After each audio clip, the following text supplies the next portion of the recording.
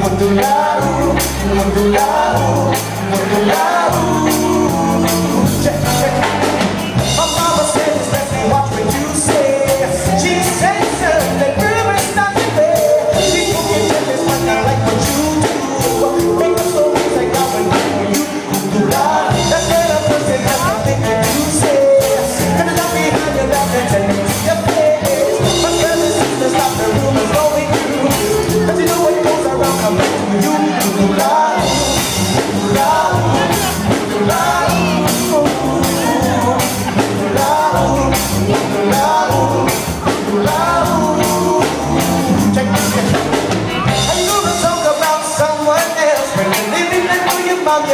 too.